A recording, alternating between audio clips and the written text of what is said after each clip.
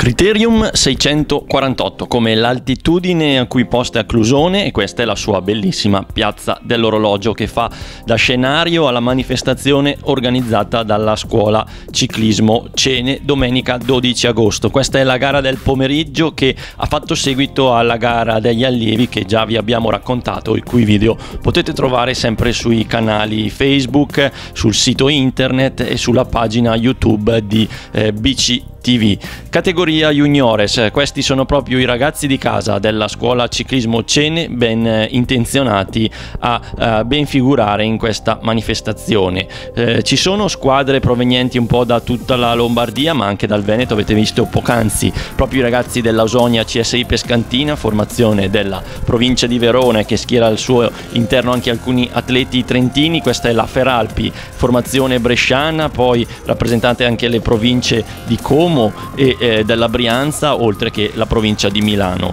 In, in, prima di cominciare un minuto di silenzio avete visto in ricordo proprio di Danilo Fiorino, Fiorina, Danilo Fiorina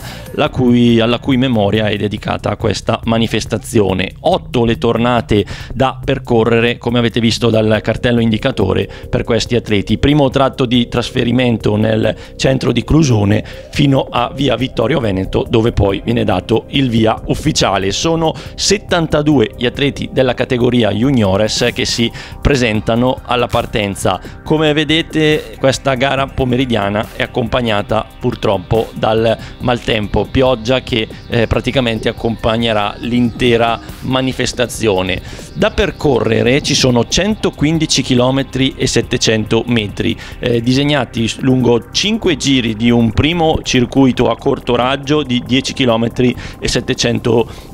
eh, metri che interessa gli abitati di Clusone, Rove, Rovetta, le località di San Lorenzo, Fiorine, ancora Clusone con il passaggio, come vedete in questo momento, proprio dal traguardo dalla piazza dell'orologio di Clusone. Poi nella seconda parte di gara invece sarà affrontato eh, il circuito a più lunga gittata, quello di 21 km e 100 metri che interessa poi gli abitati di Clusone, Rovetta, Fino del Monte dove è posto il GPM, località Poerza, Onore, Songavazzo, Novezio, Cerete Alto, Cerete Basso, Clusone, Fiorine, Clusone e quindi il passaggio di nuovo da Piazza dell'Orologio eh, dove nonostante il maltempo, la pioggia, c'è stato sempre un pubblico numeroso e caloroso ad applaudire questi giovani corridori. E questo che vedete in azione in questo momento è Imad Sekak, atleta del team Fratelli Giorgi, campione marocchino in carica della prova in linea che prova l'allungo proprio in queste fasi di gara. Lo vedete vedete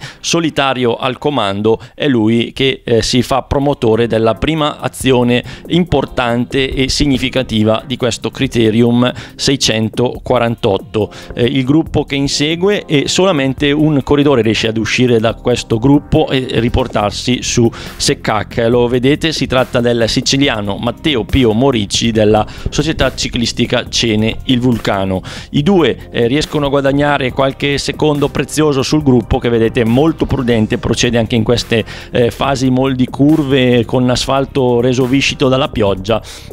mentre i due davanti in questo momento vedete proprio il corridore della Cene Morici a dettare l'andatura con alle sue spalle alla sua ruota proprio Imad Sekkak ci cerca di organizzarsi alle spalle dei due battistrada vedete la situazione è molto fluida. In questo momento il plotone si è quasi spaccato in due tronconi con un gruppetto più numeroso eh, a dettare il ritmo davanti e un buco con un altro con il resto del gruppo dietro. Davanti invece vedete la pedalata è molto fluida guida i due atleti eh, in eh, ottimo accordo procedono nella loro azione. Davanti con la maglia bianca, ora la rivedete, vedete anche si è tolto la mantellina da qualche chilometro, potete riconoscere proprio la, eh, la maglia di campione marocchino di Mad Sekak e con lui il siciliano Moringi. Ma eh, dietro sembra che il gruppo eh, stia recuperando terreno in questa fase di gara. Una trentina di secondi eh, il loro vantaggio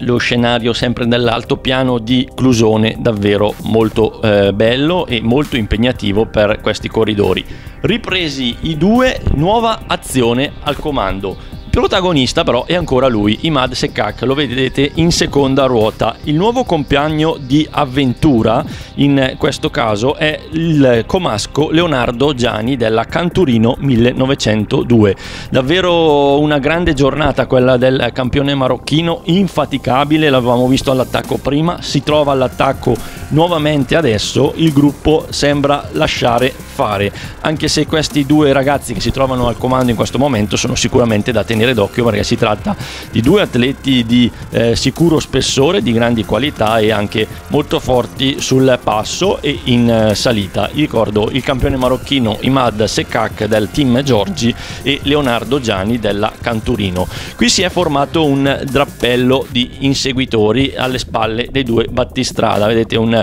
gruppetto di 1, 2, 3, 4, 5, 6, 7 7, 8 corridori, eh, ci pare di scorgere, con il numero 4 è Carmelo Laudani della No, scusate, il numero 6, eh, Matteo Morici ancora, che l'avevamo visto già protagonista poc'anzi in ultima ruota, questo gruppetto di inseguitori che prova a, a, riportarsi sulla testa della corsa, ma la situazione è davvero molto eh, fluida. Questo è un eh, gruppetto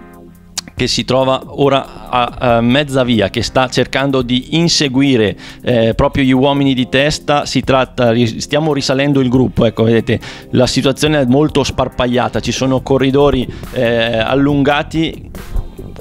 questo è il, il, gruppo di testa. Ci sono altri corridori che hanno raggiunto in questo momento Imad Sekak e Leonardo Gianni. Si tratta di, Leonardo, di Lorenzo Salvetti del team LVF, Gabriele Palmiri dell'Aspiratorio Telli, Federico Mazzotti della Feralpi Monte Clarense, Stefano Sala dell'equipe corbettese, Alessandro Motti della Canturino, compagno quindi di ehm, Gianni e Michele Bonauro dell'Ausonia CSI Pescantina che in questo momento eh, detta l'andatura ma la situazione è molto fluida, rientrano altri corridori in eh, testa al gruppo, vedete il gruppetto di testa ora è molto più numeroso, suona la campana in piazza dell'orologio, c'è questo gruppo che sta comandando la corsa alle loro spalle, altri due corridori, si tratta di eh, Raimondi della Otelli e eh, Luca Volpi del team LVF, questo il terzo gruppetto degli inseguitori trainato proprio dal padrone di casa molto atteso Davide Persico del della scuola ciclismo Cene, che è davvero una forte trainata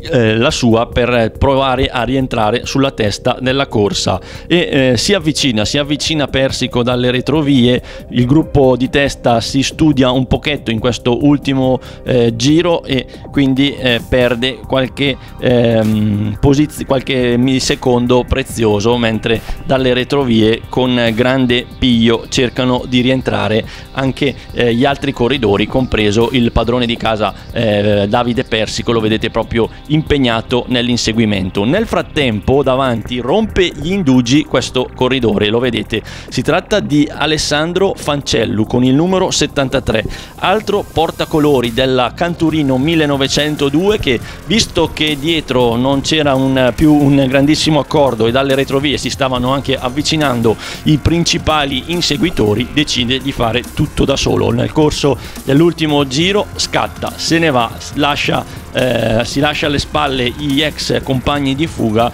e tutto solo affronta circa gli ultimi eh, circa 20 km di gara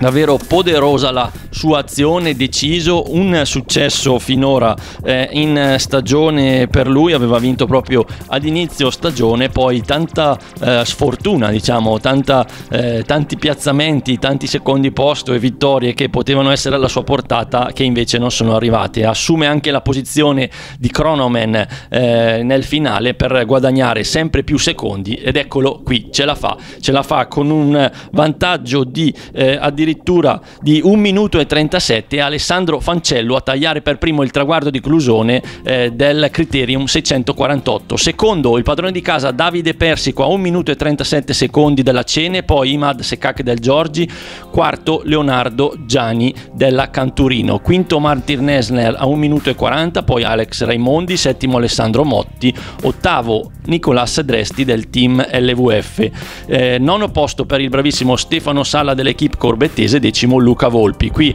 la festa dei ragazzi della Canturino, ma sentiamo le parole del vincitore. Alessandro Fancellu, Canturino 1902, una grande prestazione, una grande vittoria qui a Clusone, possiamo dire proprio che è una bella vittoria, no? la seconda della stagione. Sì, sì, oggi è arrivata finalmente questa seconda vittoria stagionale,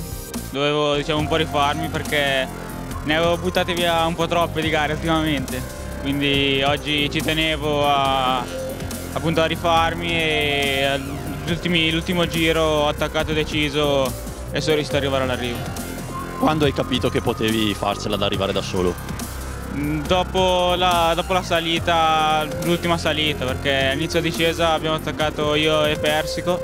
poi sono riuscito ad andare via da solo appunto in fondo alla discesa, ho fatto la salita dopo a tutta e sono arrivato in cima visto che dietro non c'era nessuno e ho proseguito fino all'arrivo. Seconda vittoria della stagione, a chi la vuoi dedicare? Ma come detto prima la voglio dedicare sicuramente ai miei compagni che anche oggi mi hanno aiutato, soprattutto a inizio gara, a tutto lo staff, gli allenatori, i preparatori che ci seguono al meglio e appunto ci permettono di, di far bene alle gare e anche ai miei genitori che fanno tanti sacrifici per me e spero di ripagarli. Davide Persico, scuola ciclismo Cene, un secondo posto qui a Clusone che forse, forse, lascia un po' di amaro perché immagino che ti sarebbe piaciuto vincere, ma è sicuramente un grande piazzamento in una gara difficile e impegnativa. Sì, sicuramente vincere è sempre bello, però anche il secondo posto qua a Clusone va bene perché per la gara che era era molto dura e mi accontento così era un po' la gara di casa per te e per la tua società, è stato immagino bello correre tanta gente, un percorso selettivo e una partecipazione molto qualificata, è stata una bella gara, possiamo dire che l'ha promossa anche da voi atleti. Sì esatto, è bella, il percorso era molto bello e altrettanto duro, quindi ho sempre cercato di stare lì davanti e tenere le prime posizioni, poi quando Fancello è partito non avevo più le gambe, ho fatto il secondo posto che, che va bene. Imad Seccag, campione marocchino, portacolori del team Fratelli Giorgi, terzo qui a Clusone, un piazzamento sicuramente importante, ma direi una prestazione la tua importante, una grande corsa, ti abbiamo visto sempre davanti, sei soddisfatto? Sì, sono molto soddisfatto. Oggi ho provato ad attaccare subito dal primo giro, sono stato fuori tutto il giorno e era meglio vincere, ma va bene anche un terzo posto. Sicuramente dimostrato di avere una grande condizione, l'ho dimostrato anche con la conquista del titolo della, della, nazionale del tuo paese. Da qui alla fine della stagione quali sono i tuoi propositi? Devo ringraziare il mio allenatore Marco Cattagno che mi sta preparando bene per, per, una, per il mondiale. Adesso la condizione è buona, sto perdendo un po' di chili e spero di migliorare sempre di più.